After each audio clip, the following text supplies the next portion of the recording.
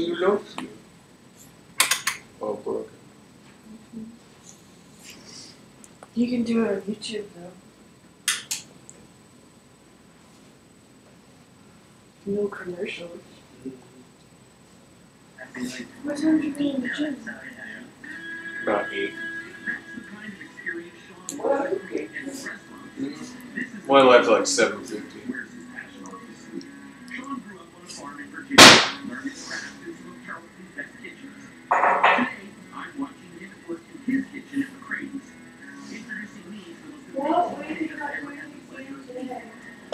know, man.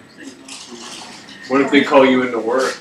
Well, either way, so let's we do it today, we can call cooks and then they call again.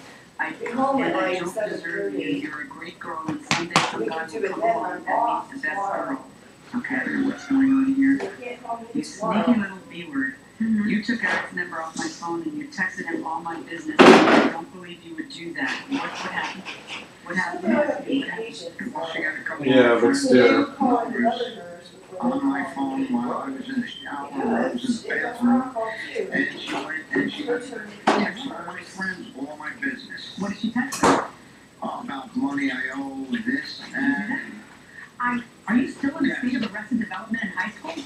No, Um, I was, oh my God. his friend Eric, so that's how I have his number.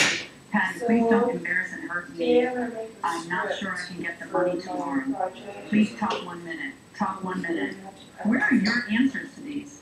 Where are my answers? Yeah, how do I get those? Um, some of them I just, All you I have have to so do much is sit more there just and here to say show. yes. Or you could just I'm sorry, them. forgive me, please, you're. No, I actually have to do an was she assessment on saying that was you. making you say that? I'm gonna sue you and all of a sudden she's your girl again? I was, I, I, I just didn't want any trouble with the law. I was saying everything and anything just to calm down, not to have any problems. Got a temper like nobody I've ever met. How much money did you, uh, take from her? It even was around seven hundred.